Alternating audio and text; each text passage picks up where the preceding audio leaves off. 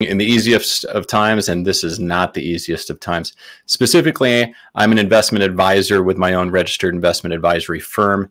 This designation means that I am a fiduciary for my clients. I am personally liable for the advice I give them, and I am unable to receive any compensation, kickbacks, or commissions from recommendations I make, which typically is something clients like because they can listen to me and I can tell them what they think. And similar to an attorney, uh, or your CPA. These are not new designations for them. It is a new one in our in our field. Uh, you can know that the advice that I'm giving my clients uh, is from the bottom of my heart, uh, the best in their interest. If you're not my client, then it doesn't apply. Uh, so beware that you can't, uh, you know, if you make decisions based upon what you hear on the show that don't work out, I'm sorry, um, not my fault.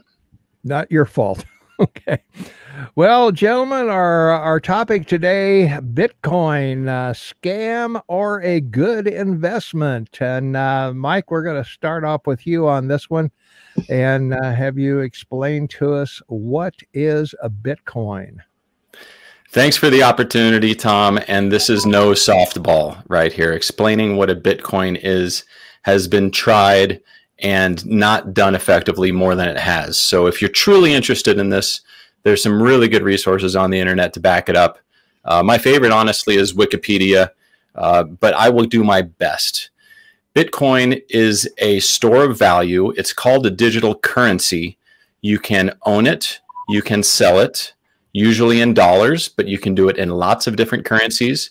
You can own and buy it directly through where they connect you directly with a buyer and a seller, or you can use an exchange such as a Coinbase, and we'll talk more about these exchanges. And the idea is, is that this is a store of value called a digital currency where it is not subject to any government regulation or other authority. It is completely autonomous, meaning that nobody's in charge of this thing, which means that it is risky, of course. However, it works.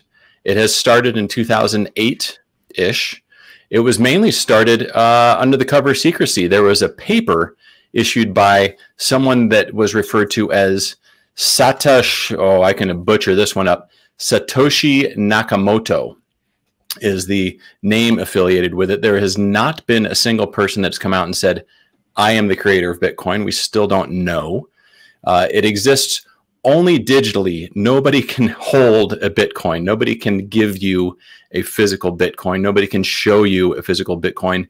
That said, you'll see a symbol a lot of times representing Bitcoin, and that will be a B with two two lines through it, like a dollar sign, usually in gold. Uh, but don't be fooled. Uh, this is complicated. Uh, this is risky. And as an investment advisor, I want to be very clear that I typically, well, I always don't advise people to buy this yet. Because if there is a store of value that is outside of government and government influence and potentially tax influence, something that I should know about on behalf of my clients. I've studied it for years and years. Tom and I were talking about it on the radio uh, here in Bozeman starting in 2008. And I also want to add another caveat is that because it is semi autonomous, meaning outside the law, there's a lot of illegal activity that happens with Bitcoin. And so if you have high morals, high moral opposition to drug trade, human trafficking, all sorts of things, uh, that actually kept me away from it for a long period of time, and it may keep you away of it from it as well. You can imagine how if uh, drug cartels didn't have to work in dollar bills, they might be able to do more effective work. Now, that said, this is academically fascinating. It seems to be going up. It seems to be sticking around. That's why we're here to talk about it. All right, thanks, Mike. Um, yeah, it's uh, um, it, has been a real phenomenon. And as you mentioned, uh, uh, it was very attractive to people who wanted to hide money. If people, you know, if people were contemplating a divorce and they didn't want the wife to get the big bucks, they put it in Bitcoin. Uh, we just heard the other day about somebody who's got $200 million worth and can't remember their password. Uh, so they, are sitting there saying, gee, hmm, I, uh, I'd really like to remember that password. Apparently, they don't have a way for you to recover your password. So, if you do, yeah, uh, yeah, the gentleman's name is Stephen Thomas. He's from San yeah. Francisco, yeah. and he had a he he he uh, had he put it on a thumb drive, and he can't remember the password for the thumb drive, and he he has ten attempts to uh, try. Uh, he's already used eight, so he's got two more attempts left, yeah. and he has about seven thousand two seven thousand and two. Uh, uh, bitcoins on it uh, that he claims is worth 220 million dollars. But what's a what if it's a hoax you know? I mean he, he claims he had other bitcoin and he's still worth a lot of money but he, a great story wasn't it? Yeah. Well the other thing too the winklevoss twins who originally came up with the facebook idea that uh, mark zuckerberg stole from them um, was uh, are big investors in bitcoin uh, they've uh, done pretty well, I guess, with their uh, payoff from Zuckerberg. So uh, yeah, it's kind of a kind of an interesting deal. So, well, the next question we've got to ask both you guys, and I'll start with Mike on this one: Is it a safe investment, Mike? What do you think? Well, uh, the easy one is no. Um, and knowing my regulation, my oversight, my disclaimer, uh, you know, the safest safest thing you can do is just put your money in CD or U.S. Treasuries and never take risk. So no, this is not a safe investment. However, most investments that make a lot of money are not that safe, uh, and so this is something that I would put in the basket of private investment in a company. I would put it in the basket of speculative betting on a pharmaceutical drug that will solve cancer uh, maybe even more so because there is no oversight. This is a communal oversight. This is a community driven valuation thing. However, however, however, the mechanics that underline Bitcoin is called blockchain technology. And we're not going to tackle that one in this one because we would certainly fail. But it works. It is an, it is right now permeating in various areas of our uh, digital world as a substitute for database problems. Uh, it's a new solution. It's a robust technology that's been proven and sound. And so the valuation, uh, excuse me, the tracking of a Bitcoin has been proven to be sound, meaning that this person that claims to have lost their Bitcoin, now they could be lying. However, the reality is, is that there are many Bitcoin keys, passwords that have been lost. And if they're not recovered, those bitcoins can never be transacted. They are not able to be moved unless somebody moves them. There is no hack that uh, allegedly can occur. Um, and so the attractiveness is that twofold. One is the integrity of the system. Somebody can't take it from you. It is yours. Every Bitcoin that's ever been created can be tracked accurately and precisely on where it went and uh, and who has it. Also, more so the finite amount of them. It is a decreasing logarithmic scale of how they're being issued. That means that there's a finite amount that everybody knows about of how many bitcoins will exist. And this is really appealing to people that are upset with money manipulation through the Federal Reserve. This is something that is uh, is yet to play out on how it works.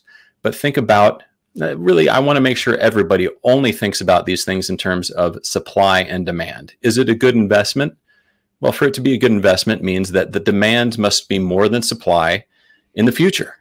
That is the only thing that you really care about. There's all these other things that are important to know so you can feel comfortable, so you have comfort when you weather out the storms. But if you know these three things, uh, one is what's the supply, what's the demand, and what's the integrity of it you might feel confident getting into something like Bitcoin. Again, this is something that is speculative. People of normal net worths, meaning if you don't have a net worth over $3 million, no, this is like uh, gold is a much safer investment. Storing barrels of fuel in your in your basement, well, that's never a safe investment. But if you have more net worth, if you're to the point where you say, you know what, I have enough stocks, I have enough real estate, I don't need any more of those things. And we're seeing that happen as these uh, as the K-shaped recovery really does appreciate real estate and stocks. I've got clients that say, you know, what else is there? That's why I'm interested in this. I'm looking for opportunities out there.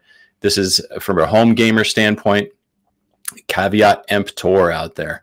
Uh, that said, we are seeing ways to invest in Bitcoin that don't involve having to own it yourself. As we, as Tom illustrated, owning it yourself has liabilities about keeping a password. Has liabilities about, well, how do I really transact this thing? You kind of got to be a pretty good computer nerd in order to figure it out. Wall Street has an answer for you. We have gone and created trusts that own Bitcoin, and then you can pool money and own a portion of this trust. It's something that we've been doing with commodities forever. We can do it for Bitcoin as well. The longest running trust is the Grayscale Bitcoin Trust, ticker symbol BTC, excuse me, GBTC. I talk and I, Tom can probably parse that into uh, military speak for me. Um, but that is a convenient way that people can say, you know, I want to get away from the typical meat and potatoes of stocks. I have a small portion of this that I'm willing to risk on Bitcoin, but I don't really want to go to an exchange and I don't really want to own a thumb drive that I might lose a password to. How can I get in and get some exposure to it? Wall Street is providing solutions, and that's one of them. All right. Uh, Shane, what do you think? Good investment or not? Probably not, uh, but it's it's a good marker that we always uh, search for for uh, a reference of the market overall. Um, I think you know it's one of these areas. Sovereign funds are buying it in large amounts around the world. But let's put it in context. Very important. When we talk about companies, I always reference the capitalization shares issued on a company like Microsoft. You know, seven point uh, eight billion. You know, where uh, you have Tesla with nine hundred million. In the case of Bitcoin, it's 21 million. That's what was originally issued. It hasn't changed, and uh, the holders of of the of the uh, key to it uh, promise that they'll never increase it, and and that's why you see the valuations and and the fluctuations of of the price. Um, the other ticker that uh, the company has is XBT because of the uh, desire to, to get in the game. Uh, they've uh, put uh, created futures on the, the Bitcoin itself. So if you're if you have some knowledge about uh, contracts, you know you can go check it out and you can see the the opportunity to trade it by contract if you like. Uh, one of the interesting aspects of having markers like this is that in the long term, it gives you a scale of panic, uh, meaning, you know, when people have uh, serious concerns coming or, or, pursuing, you know, ch money's chicken. It's, and it, want to, it wants to go to a safe place. So, uh, large valued players, billionaires, large valued companies, you know, multinationals, may find themselves in a need to move out of like you into uh, cryptocurrency just out of the sake of having it somewhere to create a, a valuation for what otherwise they'd get nothing for for putting their money in a bank. All right. All right. Thanks, guys. Well, uh, yeah, I uh, my personal feeling, I've I've looked at it. Uh, I don't know uh, I I would think it might be. I, I would treat it much like um, gold, as Mike talked about, or something like that. Um, I would not put money into it that you can't afford to lose. Um, you know, just make it a make it a fun thing, and uh, you know, if it does something, you could add a little bit or add a little bit or whatever. But uh, gosh, a year ago it was like six thousand. Today it's thirty one thousand per coin. so obviously you can't buy a coin, but uh, Robinhood and some of these other uh, investments that Mike knows about that you can get in, you can uh, you can buy portions of Bitcoin. You can invest small amounts.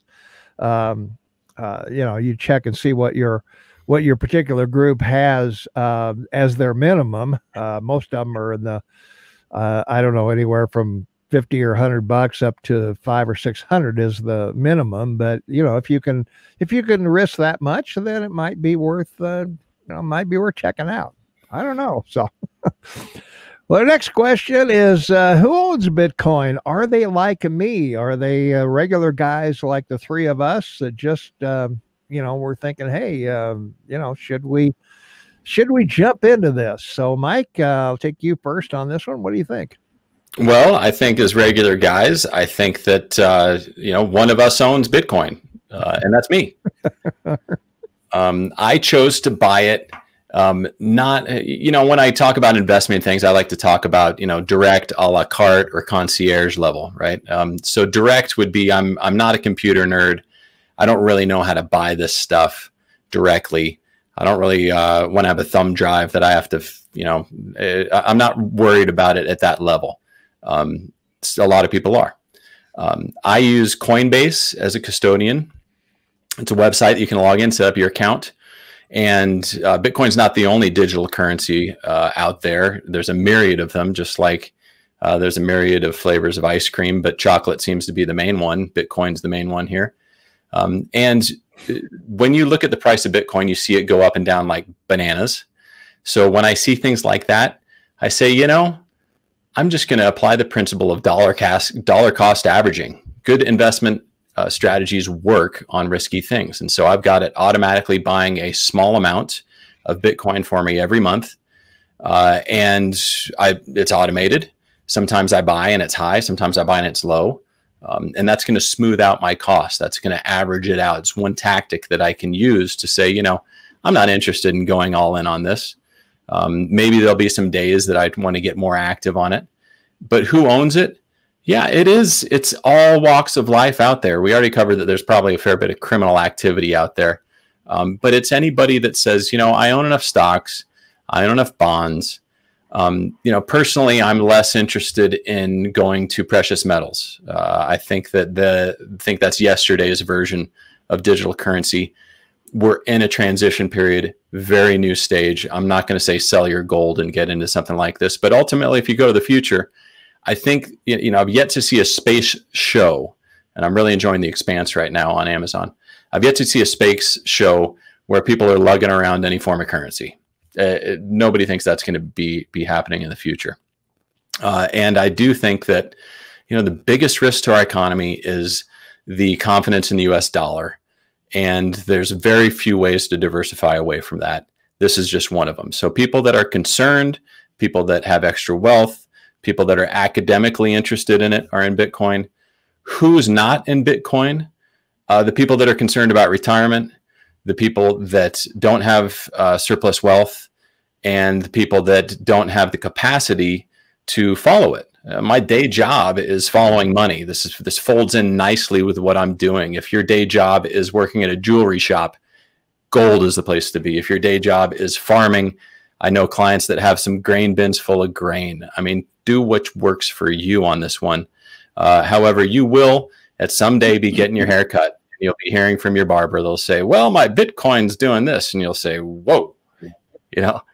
So it's it's pretty broad. Yeah. Okay, so uh, the interesting aspect of Bitcoin in this discussion is there's approximately 5.8 million unique users, which means less than four Bitcoins potentially per holder. So again, we're talking about a very narrow market that can be affected drastically. We've seen that, and we haven't talked about the swings in price on it, but it can be directly affected um, be, because of that. The other thing that is so interesting about it is uh, that there's a issue about Bitcoin referencing mining. It, it's not hacking. They they actually call it hash cash, and uh, uh, people will take uh, you know people of, of computer knowledge will take a group of servers.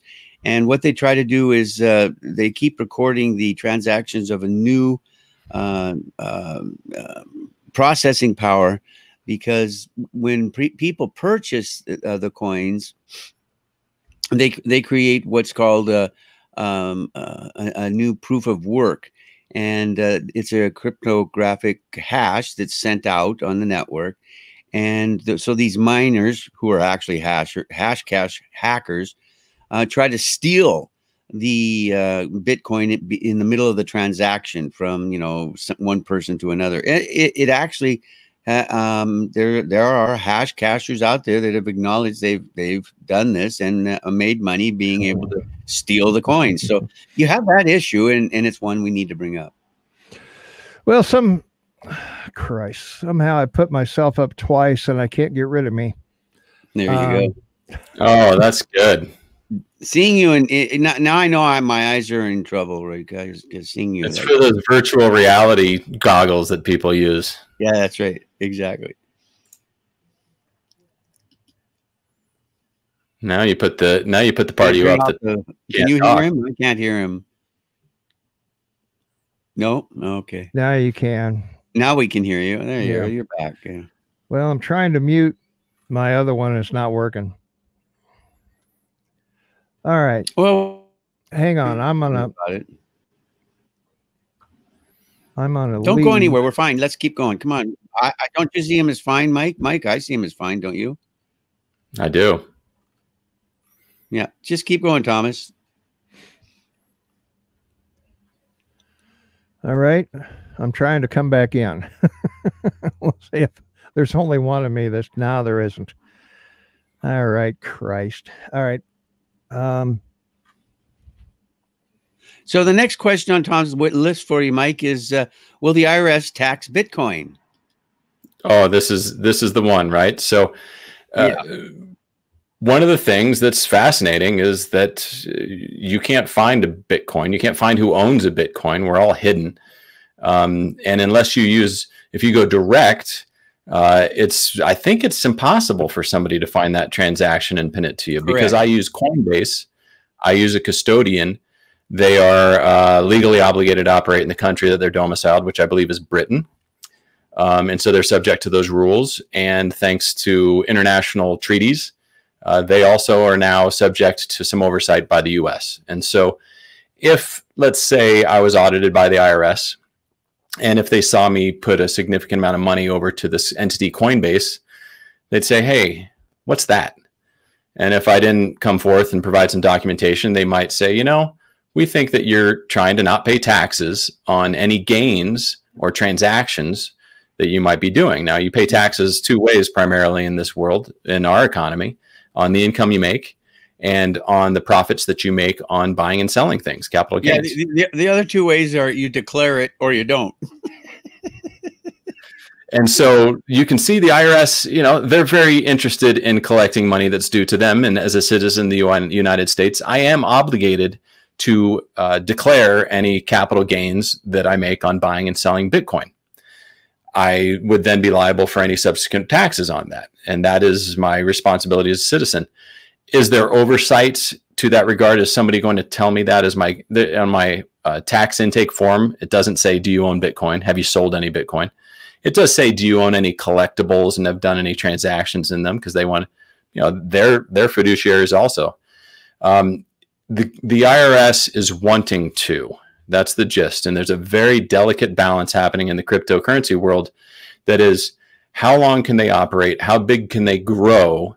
How much can they do before governments put their thumb on them? Uh, because they don't want that. They they want to be autonomous. Uh, again, this is academically fascinating. Should they have oversight? Should there be a global currency? And if there is, who should get taxes from it? Uh, who? How is that accountable? Does some? Does anybody have the right to know where my money is and what I'm doing with it? In the U.S. so far, yes, uh, but as of now, uh, Coinbase custodians are required to submit information to the IRS uh, upon request, as I understand it and me as an individual, I am obligated to, uh, you know, you sign the tax stuff that you give your CPA, you sign your W 2. That includes all the activity I've done. If I was not declaring Bitcoin transactions that I made money on, I would be committing tax fraud. That said, most transactions, I bet you, are not reported to the IRS, and mostly they don't know about them. Yeah, and I, I just want to express a personal opinion. Um, you know, I really think that the cause of celebrity of, of uh, virtual currencies was the U.S. government's failure to deal with states that legalize marijuana. As we all know, it's still illegal federally. So uh, they used uh, the, that guideline to pre- prevent people selling pot in Colorado and Washington. There were great stories about this four or five years ago. Um, and using banks, you know, FDC, FDIC. Um, literally, some of them were bringing in so much cash they had nothing to, they couldn't put it anywhere but in a safe. And then they found out about virtual currency, and and they, that's where they started putting it because they have nowhere else to put it. Uh, the success of it resulted in them making so much money that they then collectively started opening up their own savings and loans that don't require FDIC insurance, so that they could put you know deposit money on a you know business daily basis and and keep normal records because up until that it was pencil and paper and and cash. So I, I just think that when when you see government fail in its responsibility to help business, um, especially if business is, is is trying to develop it, we hear this a lot from the U.S. government. Oh, states are great, you know, they're great uh, labs for learning things, and we can learn from what they they try. But in some cases, you know, they just don't want to. And I think this was one of those cases that created uh, the establishment of virtual currencies. There you go. All right. Uh, problem solved. Finally figured it out. anyway, there's Shane's call, I bet. Is that your call? Shane's going to be chatting with his uh, uh, with his uh, uh, heart specialist for a few minutes. He'll return. Hopefully, he'll give me a give me a sign when he's back. So, but anyway, let's keep going. Uh, my, who owns Bitcoin and um, and uh, what about you know you were saying that uh, it's pretty much out of sight. Uh, will the IRS tax Bitcoin? How can they find uh, that you have Bitcoin at all? This is why it's kind of attractive to the criminal element is that they can hide funds, hide profit, hide uh, a lot of things. So, um, what's the IRS situation on this? Well, again, uh, as I said before, as citizens of the U.S., you're obligated to report all financial dealings that result in gains uh, with trading collectibles. It's up to the individual. Um, at the beginning, the custodians were completely autonomous, meaning the people that are helping somebody like me that's not a computer dork, they're actually my agent. They own it on my behalf, similar to a Morgan Stanley owning your stocks or Schwab owning your stocks. That's what a custodian means. It means you've authorize them to be the ones that hold this. You know, I don't have any stock mm-hmm. certificates for my clients. We use a custodian for that. Uh, it seems to work pretty well. Um, and so it's the custodian's responsibility at some level to make sure that they're not promoting nefarious work. That is the delicate balancing act that we're seeing play out. Um, and as of now, uh, you know, if this thing goes big, if the if the Bitcoin bugs are right, and this ends up being a, a true currency because right now it's not a currency. I, I, don't know what I could buy with a Bitcoin um, anywhere. I could. I, there's a pizza shop that's been there. I know I can buy some pizza, um, and of course this is all digital, so I can pay my 0.0001 for a pizza. Um, I think you could buy a Lamborghini in Italy at one point, um, but really it's being used as a store of wealth, uh, and so transactions. I haven't sold any. You know, my plan is just to say, you know, instead of gold over time, I'm going to own a little bit of this stuff and I'm super fascinated by it. I don't have any clients in it. Um, but again, if you were to invest through public markets, through that grayscale Bitcoin trust that I mentioned, then it would be reported to the IRS same as any stock or bond position that you own. So you can legally invest and be on the up and up uh, just by going through your brokerage account. Yeah. Yeah. Um, uh, I, I think I read somewhere also there's some ETFs um, uh, for Bitcoin or blockchains that you can get into as well. Uh, ETFs, exchange traded funds. They're a, you could buy a group of Bitcoin companies, I guess, uh, with an ETF and um, have those all at uh, all at one time. So uh, Shane's back with us, I believe. So, so thank you. Anyway, I, I we're you know that's okay. No, not a problem. that that was my heart specialist calling to tell me about um, you know by phone how how you know how well I may or may not be. So apparently, um, it, I'm good to go for another echocardiogram sometime in the late summer. Doesn't know oh. when, but you know it it'll take to get me in to see uh, uh, you know, a doctor for an echocardiogram. So, wow, yeah, how, how, great is that? That's that's medicine. That's a Canadian healthcare system uh, at, at, work. So, well, uh, I was hoping you could make it to the end of the show at least, but I'll be uh, okay. Yeah, I, I, I okay, seem to be good. Doing My face isn't puffy, and I'm not all red. So. Yeah. Uh, what about taxation of Bitcoin in Canada, Shane? Uh, any uh, has anybody explored anything like that, or well, of you... course, I mean, it, it you you have to declare any income, foreign or, mm-hmm. or domestic, to you know the Canada Revenue Service. It's it.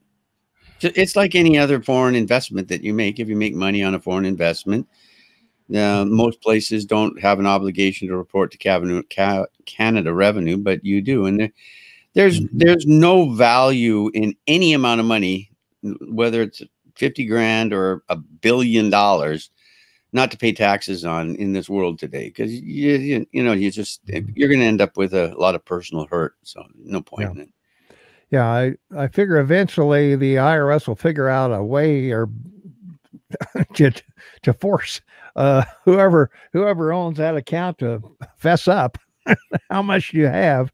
I expect to see it on tax returns in the future, probably, Mike. Wouldn't you think? The IRS needs money. Yeah. Um, they, A lot of it too. We're we're kind of in debt. They yeah. need a lot.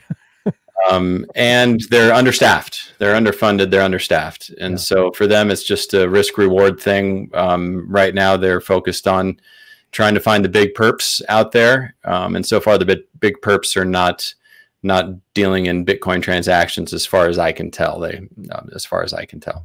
Well, I'd like to see the U.S. Social Security Trust Fund and the five uh, board members that uh, manage the oh five or six point two trillion dollars in U.S. debt, which is what the the uh, you know U- Social Security holds. You know, they they say it's going to be bankrupt. You know, and by 2030, no, it's got you know it's it's not going to be bankrupt, but it'll have be they'll have to start selling U.S. debt they've been holding because you know your U.S. government I- issued them special treasury bills and, and took the money. So now they're sitting right. with 6.8 trillion in, in US bonds. So uh, they should take a, you know, maybe a billion dollars or a hundred million dollars of that and buy Bitcoin. They probably make more money and fund the fund social security with it. I'm sure they're considering that as we speak. Yeah, I'm sure they are. Yeah, right.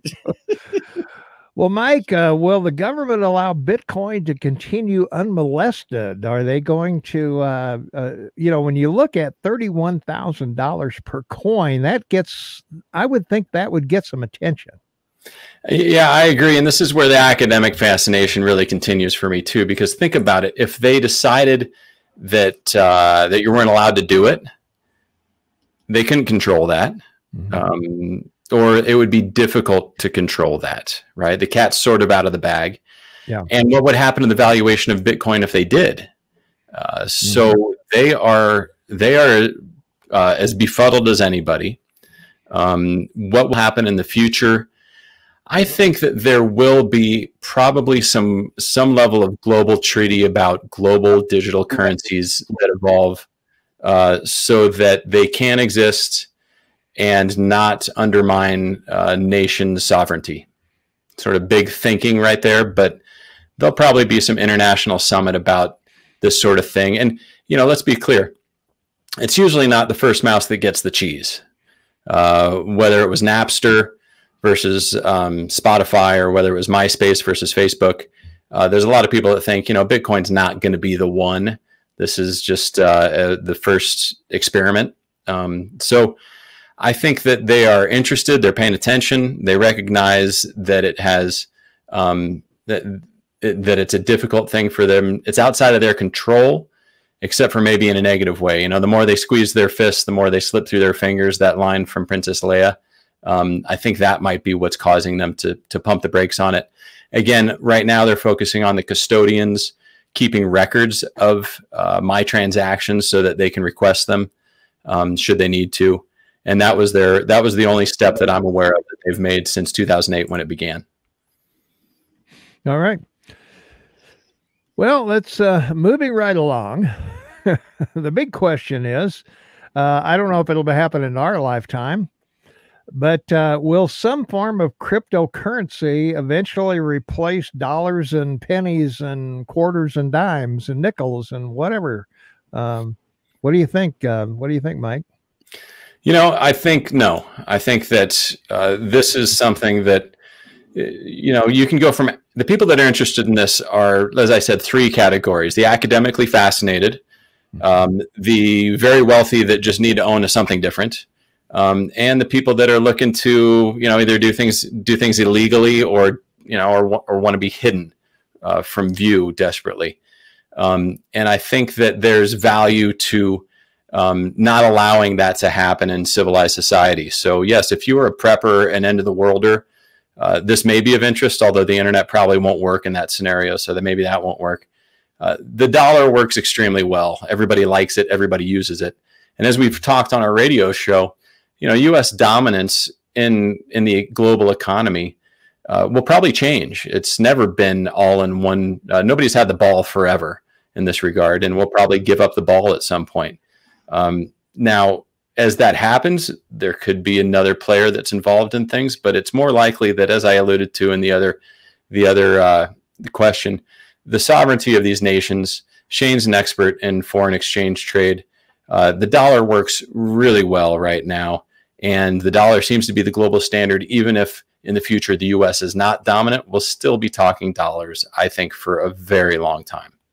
So, okay. my response to your question is uh, uh, governments are going to look at uh, avenues, as you pointed out, about virtual currency. Right now, the biggest player in the world isn't Bitcoin, it's Alipay. Um, Alipay was developed by Jack Ma, uh, Ma uh, $39 billion a billionaire in China that disappeared in January. Uh, he appeared this week on a video uh, in a, a, northern province. Uh, uh, he's a philanthropist about building schools in, in Western China. So he's he's shown up. Apparently, he's he's not dead, but he ran into problems with the Chinese government, and this is one of the reasons why. Um, he developed Alipay 12 years ago, and it's a, a third-party mobile and online payment system. And the platform is being used principally in China to get rid of currency. There's no longer currencies, we've told everyone in China, other than in the countryside. 870 million people are using it uh, in China, and that's that was as of 2018. They believe it's now over 1 billion people in China are using Alipay on their phone system to make all payments and do all their banking online with their phone and no currency. So I think you'll see some type of mobile app, as, as in the case of this company. Uh, Want to let everyone know that he had a $39 billion in, initial public offering that was supposed to go off a month ago between Shanghai and Hong Kong, and President Xi and the fascist government in China pulled that because of Ant and Alipay. Ant Ant is uh, um, the largest uh, provider of financial advice in the world. Uh, you could take the 10 closest, the largest uh, financial groups, banks, whoever you want to, and, uh, you know, compare them to the Ant Group that he also created. Uh, he has uh, 34.5 billion in, in, in, you know, the Ant Group was set uh, excuse me, he's got 313 billion of Chinese uh, revenue and uh, over 500 million Chinese investing in the Ant Group in, in China. So this is a big guy. He's got 80 million, um, 80 million merchants between the Ant Group and Alipay, Alipay uh, to working to create this virtual banking. So that, that's where it's going to go. And that's the answer to your question. It's not going to be virtual money. It'll be some type of app on your phone. Okay. Uh, my my personal thought on this is uh, you know i seldom carry cash anymore. I almost never write a check anymore. Um, you know i either have a, a, debit card. I might keep 20 bucks in my wallet just for you know if something comes up that is too small to charge. So but um, I, I, I think somewhere along the line, whether it's uh, as Shane suggests with a phone or uh, whether it's cryptocurrency or something like that. Um, I know there are more and more uh, folks that are buying stuff or able to buy stuff with Bitcoin. Um, you know, uh, merchants are starting to look at it. Um, I think Amazon will take Bitcoin. I'm not, uh, don't uh, quote me absolutely on that, but uh, I think they will. And the other thing that we talked about, uh, well, we just kind of touched on it, are uh, uh, the blockchain technology.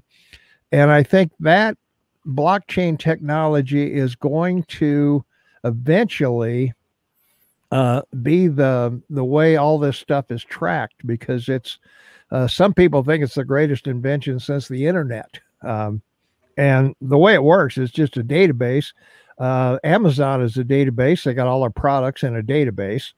And uh, but the way blockchains work is uh, um, transactions are put into individual blocks, and uh, those blocks have a specific capacity. And when that block fills, it's chained to the next block, and uh, so on. Uh, so every single transaction of Bitcoin or anything else using blockchain technology is um, is uh, uh, you know is recorded forever. So, what do you think, Mike? Explain I that think, users would be wise to disregard about the last five minutes of our podcast. Uh, in, well, thanks, Mike. That was nice of you. look, I understand this is very complicated stuff. Um, we are not able to. I, am not able to understand blockchain. I've understood it once, and then it falls through my through my ears. Yeah. And then regarding um, things like like uh, Alipay and things like that, they are mm-hmm. forms of payment. Um, they are happening. They are denominated in the currency and backed by the currency. Um, and then there's frequent flyer miles programs. Um, and that's actually a pretty useful way to think about some things. But even in a frequent flyer mile program, you end up with one entity that controls the data and controls the valuation and exchange rate. And so there's problems that exist in all of these worlds. Yes, I'm paying for things by swiping this thing, blip. I'm happy to use a credit card for it, but it would also work if I use another intermediary like Alipay and then they would exchange. I'd have value there that would all be denominated in U.S. dollars. Um, blockchain is is uh, excuse me, Bitcoin is a step beyond all of that, um, and that makes it really hard to understand and really hard for guys like us to actually uh, try and explain. Um, but that also is why it can trade independently, mm-hmm. and we're seeing a lot of people get excited by it. Yeah. Um, well, one of the reasons I bring blockchain up is regulators have rejected ETFs uh, for Bitcoin, but they have approved them for ETFs, uh, for blockchain ETFs. Uh, Canadian regulators have also approved the country's first blockchain, uh, that is Blockchain Technologies ETF, HBLK, uh, um, launched in 2018. And in the US, um, Reality Shares NASDAQ Next Gen Economy, BLCN ETF, and the Apply Transformal uh, Data Sharing BLOK ETF. Uh, they managed to collect 240 million dollars in a week uh, for that uh, that investment. And uh, while blockchain is based on monetary system like Bitcoin is under review by different regulators across the globe, the underlying concept of blockchain has seen high adaptability and potential in the future. So that's uh, that's the only reason I bring it up. That it is uh, something, um, you know, in its infancy, uh, uh Mike and Shane, but um, it may be the it may be the thing of the future as to how we make transactions. I don't know if that's going to happen in any of our lifetimes. Probably Mike's more than Shane or me. Um, you know, we'll, uh, we'll we'll see how it goes. So. So that should wrap it up. Uh, Mike, any final words uh, before we end here? Yeah, I think the takeaways are, uh, you know, and we walked through it, is that this is complicated. Uh, it clearly has success um, and it has merit and it's not going anywhere. Uh, but there's legal concerns, there's risk concerns, and you know that's risk reward for you right there. You don't make money by not taking risk. Um, if you were at all interested in this, do your own diligence please uh, please disclaim me from any uh, role that I play in it. Um, but you know, we can't not talk about something that has had such a tremendous run up, and especially as uh, you know, we're looking at well, when are valuations going to come back? And as Shane always says, money's scared. Where will it go? Will it always go to U.S. Treasuries when things get scared? Probably, but it might also go to some other places too. Okay. Shane, what do you think? I think it's a fascinating uh, experiment uh, with uh, finance and uh, with the sovereign debt of nations and the corporate debt of nations. People at some point are going to flee, and there isn't enough gold to support you know that vast amount of money. So this may be, as I said, the only place they end up having is a, a Ethereum. There's over 700 different types of virtual coins that they could invest in to to accomplish the same thing or start their own. So I mean, it, it's something that uh, it needs to be com- uh, watched. It's another marker for the the market, as I started this program saying. You know, mm-hmm. it, it, the valuation of Bitcoin is is as much as a biggest number to watch every day as the Dow. Yeah. Um, one of the ones that keeps track of all the various bitcoins is uh, coinmarketcap.com. We'll put that in the description down below, and also uh, we'll put some links to some of the um, uh, some of the things we were talking about as far as the investments uh, uh, in ETFs and things like that. So uh, we, um, yeah, we, as Mike says, with any investment, you want to do your research. You want to consult a qualified person to help you if you know uh, don't uh, get on Schwab and start buying stock willy-nilly you know? Uh, uh, do some uh, you know get some information uh, and you know we we we don't want anybody to fail. And another reason we bring this up is for small business owners. Obviously small business owners like to invest some of their profits. So um, you know, is this uh, a place you want to invest? Uh, as I was saying earlier, I think uh, don't risk more than you can afford to lose comfortably. Uh, as Mike, uh, you know, buys a little every now and then, I think that's a smart thing to uh, at least look at, see, see what happens to your investment over six months or a year and uh, well, decide. One, I just want to say that one of the original selling points of Bitcoin was for travelers, and what they suggested was is you could buy the Bitcoin on your phone, and then when you travel to other countries, rather than get banged on uh, exchange prices on currency, particularly with mm-hmm. credit cards. Oh my God, you, you get slammed on credit cards if you have a Canadian credit card and you go to the U.S. and and use it. You know, the, you know the credit card company slams you on the exchange rate. And, mm-hmm. one of their big selling points was you can use Bitcoins. So if you're a traveler, if you're a business traveler, a wealthy traveler, you know, a trust fund baby that travels, you know, you could use Bitcoins because you can you can go to any country using your phone to purchase and it'll instantly do it in that nation's currency. It, it was an interesting selling point when they first started out. Yeah. Well, I think that's what's going to happen. I wouldn't be surprised if you have a Bitcoin debit card coming soon from somewhere. Whatever. I don't know. yeah. All right, that's going to wrap it up for us, uh, Mike. Uh, any any parting thoughts uh, before you? Oh, uh, thanks for having me. And uh, you know, you can find me online, McCormick Financial Advisors, Mike McCormick Bozeman. I'm always happy to visit. Thanks for tuning in. Let us know what you think. Yeah, we'll uh, put Mike's uh, contact info in the description uh, down below. And uh, before we go, uh, we've got to let you know a few things uh, that are going on. So uh, hang on. If you're new to our YouTube channel, be sure to hit the subscribe button below the video. Click the notification bell so you'll never miss another podcast. Like us and leave a comment. Tom and Shane are now on Patreon. You can become a supporter of the show for as little as $3 per month. Or if you go higher, there are some special perks only available to you. Your help keeps these small business podcasts coming. You'll find this Patreon link in the description below. Thanks for your support. Thanks for watching, and we'll see you on the next Small Business Podcast. All right, uh, that'll wrap it up for us. Uh, say goodbye, Shane. I will indeed be happy, be safe, live in the moment, and always live to work, come home happy to your family every day. That's the way they'd like to see you coming through the front door. All right. Thanks, Mike. Thanks, Shane, for being here. We really appreciate it. Uh, we hope uh, you learned something about Bitcoin. And uh, we will uh, see everybody next Tuesday or uh, Saturday on the radio. So um, that's it for us. So thank you for watching. All views are welcome here. If you think it there, we'll say it here. We'll see everybody next week.